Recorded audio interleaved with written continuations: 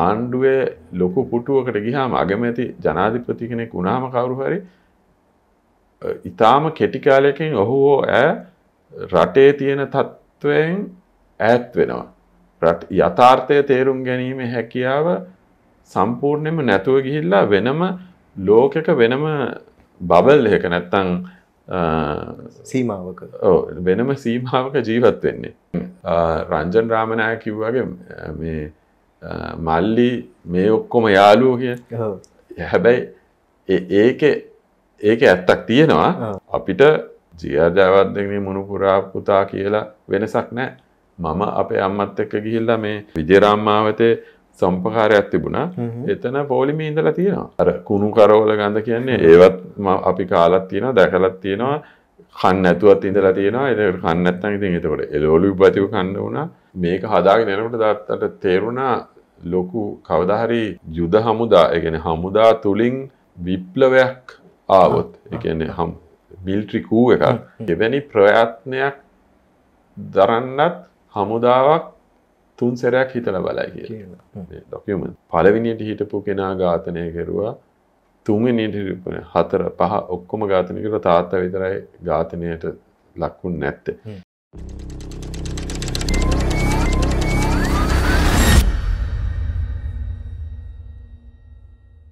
මට රකින්නට පරපුරක් නැහැ. ඔටුනු පළඳවන්නට කුමාරවරුත් නැහැ. මෙහෙම කිව්වේ ජේ.ආර්. ජයවර්ධන ජනාධිපතිතුමා කියලා ඔබ දන්නවා. ජේ.ආර්. ජනාධිපතිතුමා එහෙම කිව්වට ඇත්ත කතාව ඊට වැඩිය ටිකක් වෙනස්. මොකද ජේ.ආර්. ජනාධිපතිතුමාට අවශ්‍යතාවයක් තිබුණා නම් ඔටුනු පළඳවන්නට කුමාරවරු හතර දෙනෙක්ම හිටියා. මගේ අදහසේ හැටියට. ඒ තමයි එතුමාගේ පුතා.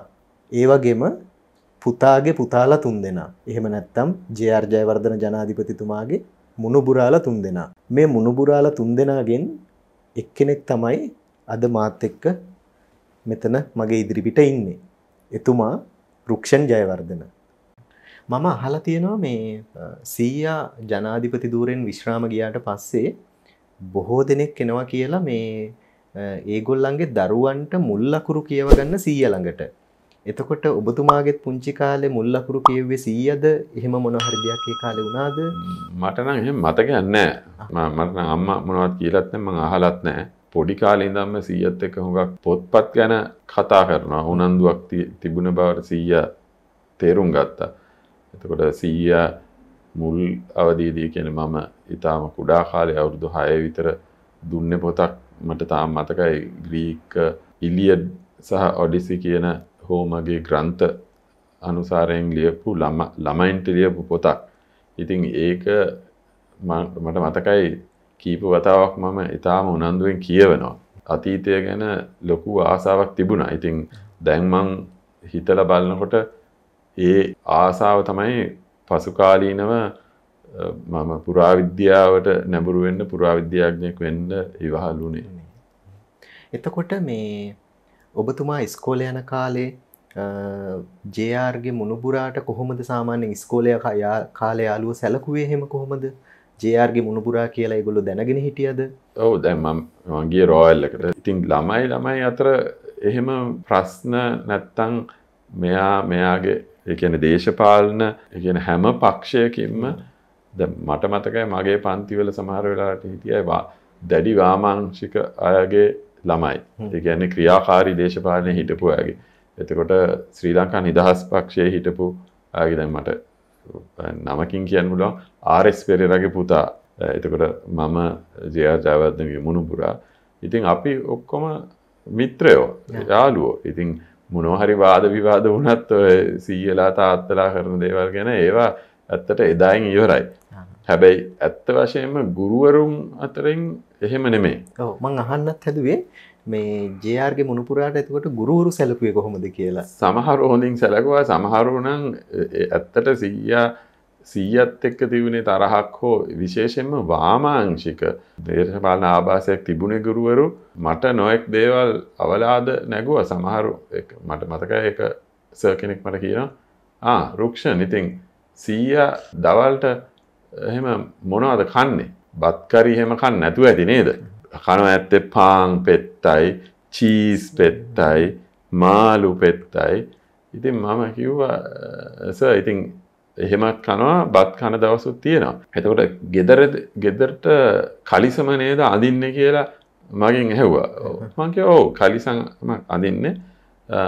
මහිතන්නේ සීයට තරුණ කාලින්දලම කලිස්මක් ඇඳලා ඒ පහසුයි පුරුදුයි. මහජනය අතරට ගියොත් නැත්තං මොනහරි ඔෆිෂල් නිල වශයෙන් දෙයක් තිබුණොත් හැමතිස්සම නැශනල් එක නැත්තං ආර්ය සිංහල සූට්ක ඇන්දේ. පොදු පොදු පොදු කටයුතුවල ඉතින් ගෙදරදී නිදහසේ ඉන්නකොට නිකන් ඇත්තට හරි ලොකු ලොකු කලිසමක් ඇන්දේ. කියන එක හිර නැති කලිසමකුයි නිකං අත්කොට කමිසයකුයි රුක්ෂන් කිව්ව අර හැත්ත පහ වගේ වෙන කාලෙ වෙනකොට සීය රටේ නායකය වෙයි කියලා අවබෝධයක් ආවා තේරුමක් ආවා කියලා. ඒ මොකක් හින්ද දෙහෙම අදහසක් ඔබතුමාගේ හිතට ආවේ? හැත්ත පහ වෙනකොට මේ ශ්‍රී ලංකා නිදහස් පක්ෂ ආණ්ඩුව එතකොට හවුල් ආණ්ඩුවක් ඒ ආණ්ඩුව දෙදර යන්න පටන් ගත්තා. හැත්ත පහය මං හිතන්නේ අතුරු මැතිවරණ දෙකක් විතර ආවා. එකක් රුක්මන් සේනායක තෝරපත් වන දැඩිගම අතුරු මැතිවරණ දැඩිගම අතුරු මැතිවරණයෙන් රුක්මන් සේනායක දිනුපු ආකාරය දැක්කහම ආණ්ඩුව ඉතාම පත් වෙනකොට තිබුණේ ජනක්‍රියත්වය හුඟාක් තුරට අඩාල වෙලා කියලා තේරුණා. ඉතින් අපිට දැන් අපි ළමයි වුණාට අපිට තේරුණා මේකන මොකු ලොකු පෙරලියක් වීගෙන එන්නේ කියලා.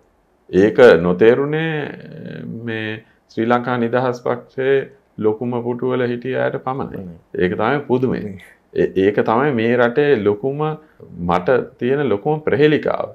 ආණ්ඩුවේ ලොකු පුටුවකට ගිහාම අගමැති ජනාධිපති කෙනෙක් වුණාම කවුරු හරි ඉතාම කෙටි කාලයකින් ඔහු හෝ ඈ රටේ තියෙන තත්ත්වයෙන් ඈත් වෙනවා. යථාර්ථය තේරුම් ගැනීම හැකියාව සම්පූර්ණයෙන්ම නැතුව ගිහිල්ලා වෙනම ලෝකක වෙනම බබල් එක නැත්තං සීමාවක. වෙනම සීමාවක ජීවත් වෙන්නේ.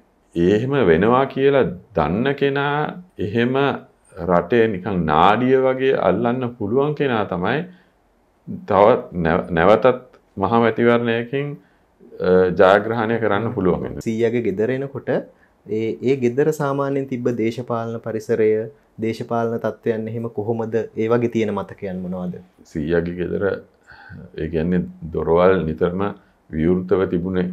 නොයෙක් අය ආව ගියා. දේශපාලනය හිටිපු ඇයි දේශපාලනය නොසිටි වෙනත් චරිතයි. ගෙදර පවුලය පමණක් සීයයි ආච්චි අපි හිටියනම් අපි සහ තාත්ත හිටිය නම් තාත්තත් එක්ක තනි වෙන වෙලාවක් කියලා නැහැ. ඇත්තට රෑ නිදාගන්න යන්න වෙලාවේ උදේ උදේ ආහාරයට කලිනුයි පමණයි එහෙම පවුලය විතරකට ගෙදර ඒ පිරිස සීමා වෙන්නේ. එකැනෙ උදේ ආහාරය සීය ගන්නකොටත් අනිවාර්යෙන්ම එක්කෙනෙක් හො දෙන්නෙක් සීයත් එක්ක උදේ තේබුණා. සමහරලාට ලංකා සම සමාජ පක්ෂේ යාළුවෙක් වෙන්න පුළුවන් බනත් සොයිස වගේ. ඉතින් ඒකතා පුදුම දේ කියන්නේ දැන් රංජන් රාමණය කිව්වගේ මේ මල්ලි මේ ඔක්කොම යාළුවෝ කිය හැබැයි ඒක ඒක ඇත්තක් තියෙනවා.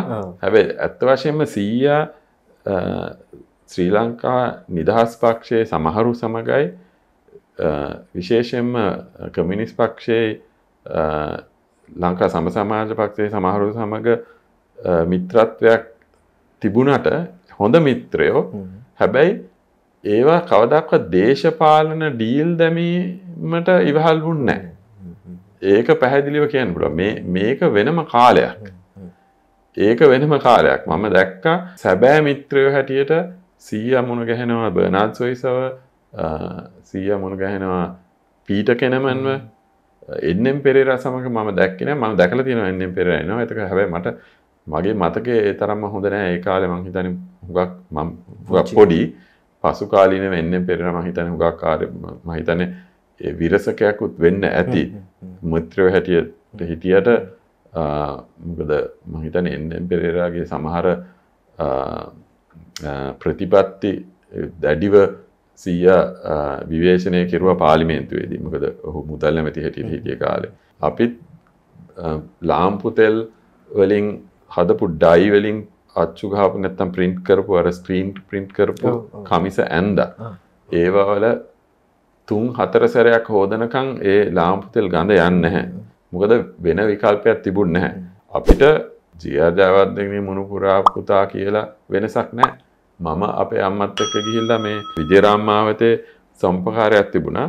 එතන පෝලිමේ ඉඳලා තියෙනවා. මම වෙනත් තැන්වලත් අම්මත් එක්ක පෝලිමේ ඉඳලා තියෙනවා. මොකද සමහරට අම්මට ටික උදව් වෙන්න නැත්නම් අම්මට ඒව ඔක්කොම උස්සන් එන්න වෙනවා. සීනිත් සලාකයට ලැබුණේ මිරිසුත් සීමා කරලා සමහරකට මිරිස් ගණ්ඩවත් නෑ අර කුණු කරවල ගඳ කියන්නේ ඒවත් අපි කාලත් තියෙනවා දැකලත් තියෙනවා.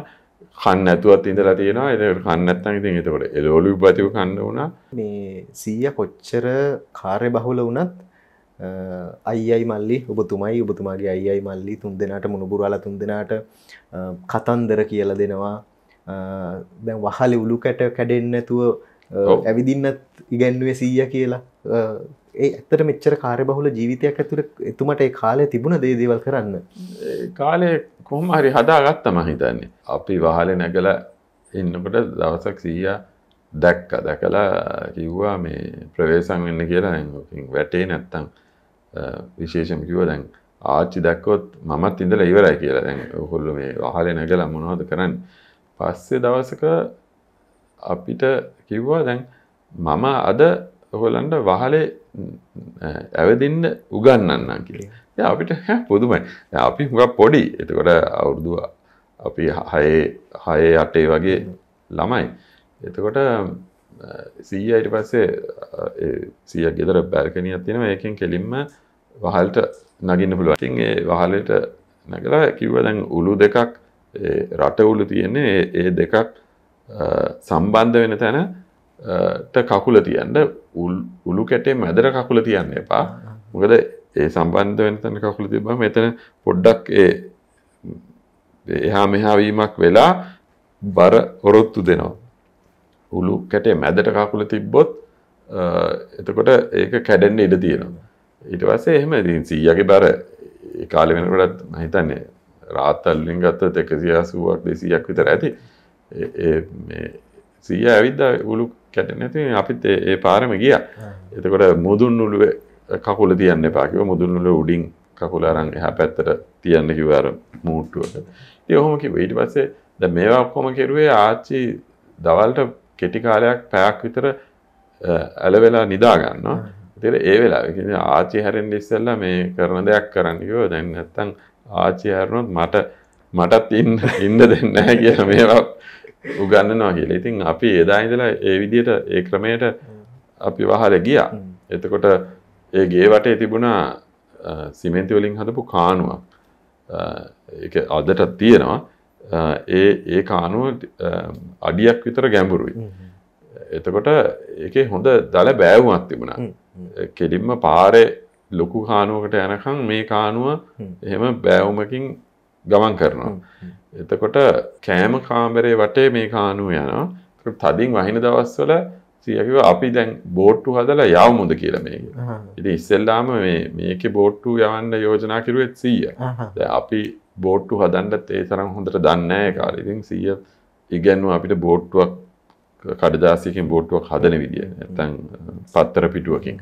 පස්සේ බෝට්ටු දාලා එක තැනකින් දාලා 100යි අපි කාණුව දිගියම යනවා බෝට්ටු බෝට්ටුත් එක්ක බෝට්ටු යනවා බලාගෙන. ඒකට කාණුව දිගේ යනකොට කාණුවට උඩින් වහල ටිකක් පන්නලා තිබුණ ඉතින් අපි තෙමෙන් නෑ හැබැයි මේ වතුර මේ පීඩි වලින් ඇවිල්ලා මේකෙන් ගලාගෙන යනවා සමහර තැන්වල රොඩු බොඩු වගේ නිකන් කොළ ගස්වල කොළ හැම හිර වෙලා තිබුණොත් එතකොට එතනින් කෝටුවකින් අපි ඒවා ඉවත් කරලා බෝට්ටුවට යන්න සලස්වනවා ඉතින් මේවා තමයි කෙරුවේ සමහර දවස්වල. අපිට ක්‍රිකට් ගහන්නත් තරමක් ඉගැන්වා බැට් එක අල්ලන විදිය බෝල් කරන විදි ඒවා ඉතාම් පොඩි කාලෙ මොකක් හරි අපි වැරදිට කරනවා නම් ඒවා හරි ගැස්වා. සිය ක්‍රිකට් ගහපු කෙනෙක් රග ගහපු කෙනෙක් ෆුට්බෝල් ගහපු කෙනෙක මේ ඔක්කොම ඉස්කෝලෙ නියෝජනය කරලා ඇත්තට රග කැප්ටන් සිය රෝල් එකේ. සිය ඇතට ප්‍රායෝගිකව ක්‍රීඩා කරපු කෙනෙක්. ඉතිං තව දෙයක් අපි හුඟක් පිරිමි ළමයිම තුන් දෙනෙක් නිසා සමවයස මොකක් හරි වාදයක් වුණොත් ඒක උණුසුම් වනාට පස්සේ අපි ගහ ගන්නවා. අතින් පයින් ගහ ගණ්ඩ අවස්ථා තිබුණ හුඟක්. එතකොට මේවා බලංඉදල සීය සීය මැදිහත් වෙලා කියනම් මේ ගහගණ්ඩ ඕන්නෑ මේක කතා කරලා විස්නන්න පුළුවන් දෙයක්. නැත්තම මේක විනිශ්චය කරනවා සීය. ඉට පස්සේ දැන් ගත්තා. දැන් කොහොමහරි මේ කොල්ලෝ ගහගන්නම තමයි බලන්න කියල මේ ප්‍රශ්නයක් විසඳන් කසික නෑ ඔහොම ගහගන්න එප. නික තුවාල වෙන විදියට කියලා මේ මම ඔගලන්ට බොක්සිං ලබ්ස් වගේයක් අරන් දෙන්න ඒසේ ගිහි දවසක් මහිතන මොකර විදේශ ගමනකින් පස්සේ බොක්සිං ලබ්ස් කුට්ටන් දෙකක් ගෙනාව. එන කිව දැන් ඔය දෙන්නෙක් දැන් සාමාන්‍යෙන් මොකක්හරි ප්‍රශ්නයක් වෙලා ගහගන්න හිතෙන්නේ දෙන්නෙක්ටන. ඔය දෙන්න මේ ගලබ්ස් දෙක දෙක දාගන්න. ඊට පස්ස ගහගන්න. හැබේ ගහගන්න ක්‍රමයක් මම කියලා දෙන්න. බොක්ස් කරන ක්‍රමය කියලා දෙන්න කියලා.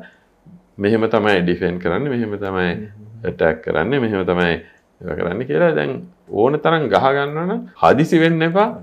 කරුණා කල්ල දැන් මතක තියන ග්ලබ්ස් තියෙනවා. ඒව දාගෙන ගහගන්න එතකොට ඔබතුමා මේ පාසල් අධ්‍යාපනයෙන් පස්සේ කොච්චර වගේ දුරකට ඉගෙන ගත්තද? මේ මොන මොනාංශයෙන්ද ඉගෙන ගත්තේ? පාසල් අධ්‍යාපනයට පස්සේ මුල් කාලේ ඇත්තට පාසලෙන් පිට වෙලා සූ එකේ වැඩක් කෙරුවා. මම ඉස්කෝලෙන් පිට වෙන්නත් කලින් ස්වේච්ඡාවෙන් මම ඒසුව එක වැඩ කිරුවමකද ම සත්තුන්ට ලොකු ඇල්මක් දක්කපු කෙනෙක්. මට පොඩි දෙයක් අහන්න ඉඩ දෙන්න. මම අහලා තියෙනවා ඔබතුමා එහෙම සූ එකේ වැඩ කරන්න යද්දී හැබැයි මේ සූ එකේ සේවකයෝ නිලධාරීන් දන්නේ නැහැ කියලා මේ ජයාර්ගේ මුණුපුරයි කියලා. හැබැයි ඔබතුමා එහෙම ස්වෙච්චාවෙන් ගිහිල්ලා තමන්ගේ සේවය එතෙන්ට ලබා දුන්න කියලා. එක ඇත්තද? අධ්‍යක්ෂක හැටියට හිටිය ලින්ඩියල්විස් දැනගෙන හිටිය. දැන් ස්වේච්චාවෙන් වැඩ කරන්න රාමෝකුත් තිබුණ සූ එකේ තරුණයට කියන්නේ ඉස්කෝලෙ යන වායසයායට එතකොට තරුණ සත්වයදීන්ගේ සංගමය කියන එකත් ඊට අවුරුදු කීපකට කලින් පටන් අරගෙන තිබුණා. ඒත් ලින්ඩියල් විස් කියන අධ්‍යක්ෂකවරය තමයි ඒක පටන් ගත්තේ. ඉතින් ලින්ඩියල් විසි කාලෙ තමයි මමත් ස්වේච්චාවෙන් වැඩට යන්නේ. ඊට පස්සේ ඒ ආසාාව නිසා ඉස්කෝලෙන් පිටුනිගාම මම සුව එක රැකියාවකට ගියා. සහකාර අධ්‍යාපන නිලධාරි කියන තනතුර. එතොට සිය ජනාධිපතිද? ඔවු සිය ජනාධිපති වර්ෂය එක්දා සමසය අසුව අසූ එක. හැබැයි එක්දා සමසය අසූ දෙකේ මම සූ එකින් අයින් වෙලා වැඩමගේ වැඩිදුර අධ්‍යාපනයට කැනඩාව විශ්වවිද්‍යාලයකට ගිය. මම සුවෝලජි කෙරුවා තරමක් තුරට ඉටවස්ස මම මගේ විෂය නැත්තං මගේ ස්පෙශලයිසේෂන් එක මානව විද්‍යාව කරගත්තා. ඉටස පළමු උපාදිය මානව විද්‍යාව ඊට පස්සේ දෙවැනි උපාධයක් කෙරුව මම ඉංගලන්තය කේම්බ්‍රි විශ්වවිද්‍යාලය පුරා විද්‍යාව සීයි ආච්චි බොහොම ආදරෙන් හිටපු දෙන්නෙක්. ඒක සෑහෙන්න ලොකු ප්‍රේමයක්. ඉතින් මේ තරුණ වයසට එනකොට පෙම්මතියක් එහෙම හොයනකොට ආච්චි වගේ කෙනෙකුටද කැමැත්තෙන් හිටියේ? ඒ ආච්චිගේ සීයගේ ප්‍රේමය දැකලා. ඒකන මට ඇත්තට උත්රක්නෑ ඇත මම ඒ මහිතන්නේ මේ එහෙම අදහස් කරගෙන හිටියේ නැහැ. ඇත්ත වශයෙන්ම මම කසාද බන්තීමේ ඒ තරම්ම කැමැත්තක් හෝ හදිසියක් තිබුණ කෙනෙක් නෙමේ සම්බන්ධයක් ඇති වුණෙත් ඒක කසාදයක් වෙන තැන්ට ගියත් තරවිදික අහඹු විදියට. සීය ඇත්තටම ඇයි තාත්තව ඔටුන්න හිමි කුමාරයෙක් කළේ නැත්තේ. තාත්ත පොඩිකාලෙන් දම්ම එවැනි දේවල් වලට කිසිම උනන්දුවක් නොදක්වපු කෙනෙක් කියලා සීයට පෙනෙන් ඇති. සීය කවදක්වත් කවුරු හරි කැමති නැති දෙයකට තල්ලු කරන කෙනෙක් නෙමේ. හැබැයි තාත්තා සීයට හාත් පසිම වෙනස් පුද්ගලයෙක්. තාත්තා හුඟක් ආධ්‍යාත්මික පැත්තට නැඹුරු කෙනෙක්. තාත්තා ස්ටF එක නිර්මාතෘවීම ගැන මොකද හිතෙන්නේ? ඒ කාලෙ තාත්තයි ස්ටF එක පොලිස් විශේෂකාරය බලකාය නිර්මාණය කරන්න ගත්ත වෙහෙසක වැඩ කරපු විදිහ ඒ ඔබතුමා දකින්න ඇති. එතකොට ඒ පොලිස් විශේෂකාරය බලකාය නිර්මාතෘවීම ගැන මොනවගේ අදහසක්ද තියෙන්නේ? ඒක ඇතට ඉතාම කාලෝචිත දෙයක් තාත්තා කෙරුවේ රටට ලොකු අවශ්‍යතාවයක් තිබුණ ඒ කාලේ. ඒ තාත්තගේ වචනවලින්ම කිව්වොත් මේ රට්ටයට එක්තරා විදිියක ත්‍රස්ත තර්ජනවලට මුහුණ දෙන්න සේනාවක් නැහැ. කෙටියෙන් කිව්වොත් කියන්නේ ඒ මොන වගේ තර්ජනද කියලා අහස්තයාත්‍රාවක් පැහැර ගැනීමක් හයිජකින් එකක් එතකොට ගොඩ නැගිල්ලක් ආක්‍රමණය කරලා ත්‍රස්තවාදයෙන් ගොඩනැගිල්ල සහ ඉන්න පිරිස් ප්‍රාණඇපකාරය වැඩිට අල්ලගත්තොත්. ඒවට අවශ්‍ය ආයුධ සන්නද්ධව මනා පොහුණක් ඇති බට පිරිස් ලංකාවේ නොසිට්ටි කාලයක් මේක. ඉතාම සුළු වශයෙන් ආමියක කමන්්ඩෝ යුනිට් එක සීමා සහිත විදියට මේ දේවල් වලට ලෑස්ති වෙමින් හිටිය. ඒ තාත්තට තේරුණා LTT එක වර්ධනය වෙලා එන වේගය අනුව මෙවැනි අනතුරුදායක සිදුවීම් වලට රටට මුහුණ දෙන්න වෙයි කිය. ඉතින් එනිසා පළමුුව තාත්තා ස්TF එක හදන්න ඒගැන ස්පේෂල් ටාස් ෆෝස් එකක් හමුදාවේ හදන්න තිගෙන යුද ශ්‍රී ලංක යුද හමුදාව තුළ හදන්න තමයි තාත්තා අදහස් කෙරුවෙත් යෝජනා කෙරුවෙත් හැබැයි යුද හමුදාවේ ප්‍රධානීන් එක්ක තාත්තා කතා කරනකොට ඒගොල්ලු මන්දන්න නම් වශයෙන් කවුද කියල ඒ කාලේ හරිටම ඒගොල්ලන්ට ඒ කිසිම අවශ්‍යතාවක් තිබුණේ අපිට කිසිම අවශ්‍යතාවක් නැහැ කියලා ඒගොල්ල එක ප්‍රතික්ෂේප කරලා තියෙන තාත්තා ඔෆ එකක් කෙරුව මම. මෙහෙම දෙයක් හදන්න අරමුණු කරගෙන ඉන්නවා. මේක යුද හමුදාවතුළු කරමුද කියලා ඔල්ලක අවශ්නය ඒගොලන්ට කමාණ්ඩු බට පිරිස ඉන්නවා. ඒ හොඳට මැතික හැබැ ඒ ඒ දූරදර්ශී මහිතන ඒ දූරදර්ශී නූන නිසා තමයි ඒකොල්ලු එහෙම කිව්වේ. නැත සාත්ත හුඟක් දුර දැක්ක. ඊට පස්සේ තමයි තාත්තකිවේ පොලිසියෙන් ඊටවස මම අයිජීපිට කියලා පොලිසිය ඇහුව පොලිසියට කැමැදිලි කරේ ඒ අත් දෙකෙන්ම භාරගත්තා කිවා යෝජනාව. ගොද පොලිසිය කොහොමත් එවැනි ඒතා ඒකට ස්ටF එකට සම කරන්න පුළුවන් පිරිස් හිටිය නැහැ. ඒ පුහුණුව ඒ තාක්ෂණය පාච්චි කරන්න පුළුව. ඉතින් පොලිසිය හුඟක්ම සතුටුනා. එහෙම තමයි විශේෂකාරය බලකාය පොලිසිය පොලිස් දෙපාර්තමේන්තුව තුළින් උත්පාදනය වෙන්නේ. මේක හදාගෙන යනකොට දත්තට තේරුණා ලොකු කවදහරි යුද හමුදා එකන හමුදා තුළින් විප්ලවයක් ආවොත් එකන හම් මිල්ට්‍රිකූ එකක්. මෙවැනි දැන් පොලිසියකින් හැදුනුව පොලිසියට හැබැයි පොලිසියනුත් තරමක් ස්වාධීන ආරකෂක ලේකම් හරහා ජනාධිපතිවරයාට වග කියන හමුදාවක් තිබුණොත් එවැනි ප්‍රයත්නයක් දරන්නත් හමුදාවක් තුන් සැරයක් හිතල බලයි කිය ජනතා විමුක්ති පෙරමුණේ ඔය භීෂණය තිබ්බ කාලේ තාත්තව පැහැර ගැනීමේ උත්සාහයක් තිබුණ නේද? නෑ තාත්තව ඝාතනය කිරීමේ පැහැර ගැනීම ඝාතනය කරන්න ඒක මතකද? මොකක්දේ සිද්ධිය මතකයි. ජවිප එක සාමාජිකයක් හැටියට හිටපු ඩොක්ට කෙනෙක් මේ ආණ්ඩුවේ රෝහලක සේව කරපු දොස්තර කෙනෙක් ඇත්තර ඒ නමත් හොයල ගන්න ලොක හැරි ලිය වෙලක් තියෙනවා ඔහු ප්‍රමුඛව ඝාතන කුමන්ත්‍රණය සැලසුම් කරලා තිබුණේ. ජවිප එකට කොහොමත් තිබුණා ඩජව කියන ඒකොල්ලන්ගේ ආයුධ සන්නද්ධ කණ්ඩායමට කල්ලියට ගාතන ලයිස්තුවක් තිබුණ. ඒකේ දහයක් දහ දෙනෙක් දොළොස් දෙනෙක් හිටිය. මහිතන දෙවැනි තැනට තාත්තගේ නම දාලා තිබුණා. ඒවත් මහිතන පසුකාලිනම මේ බුද්ධියංශවලට ඒ හම්බුණ ඒ ඇත්ත වශයෙන් මේ ලියපු දේ ඩොකම පලවිනිට හිටපු කෙනා ඝාතනය කෙරවා.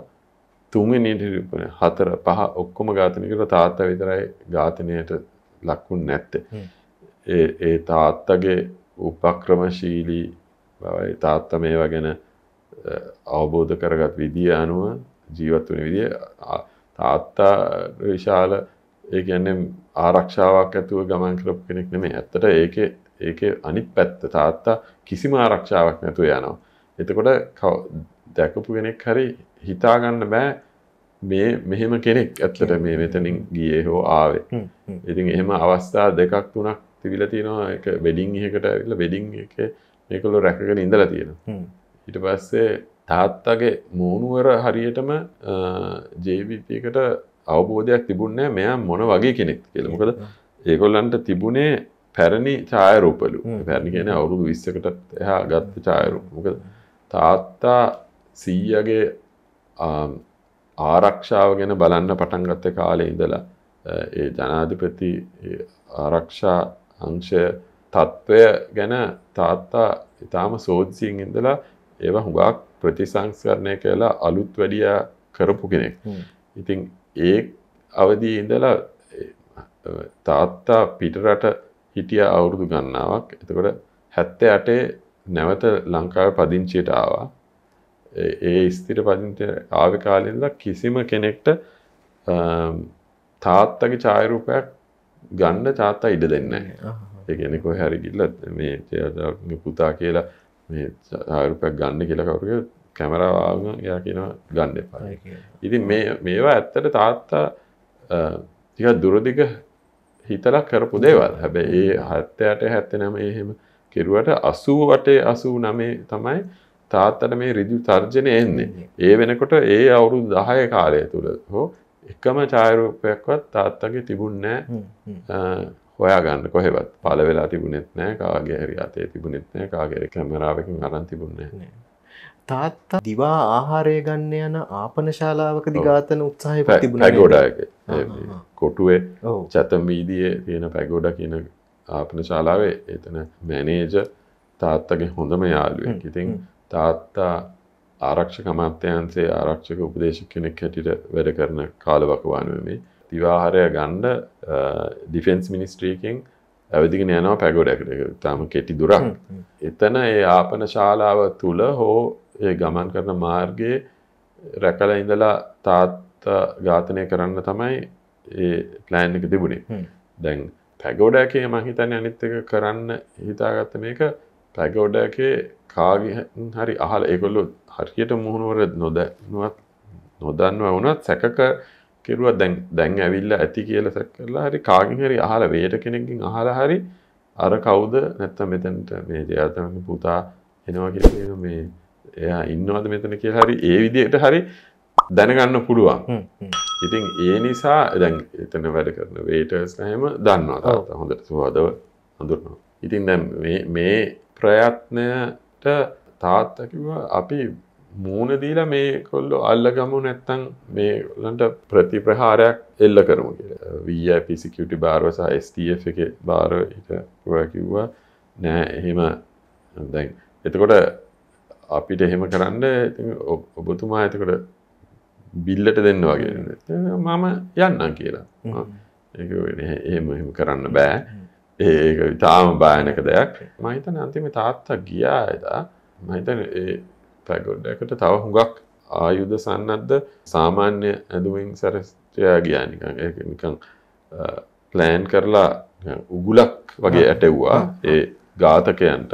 හැබැයි ඒකොල්ල කිවත් ඔබතුමාට කිසිම අවධානමක් වෙන්ඩ අපි ඉඩ දෙන්න මොක දෙකොළු හැම. තැනම හිට ඒකොල ඔක්කොම ට්‍රේන් තාත්තට පිස්තෝලයකින් ඉතාම වේගෙන් වෙඩි තියන්න පුළුවන් කෙනෙ ඉතිං එදා ඉතින් එහෙම දෙයක් වන්න ඒකොල්ලන් හිතන්නේ ඔත්තුවක් ගියා කියලා.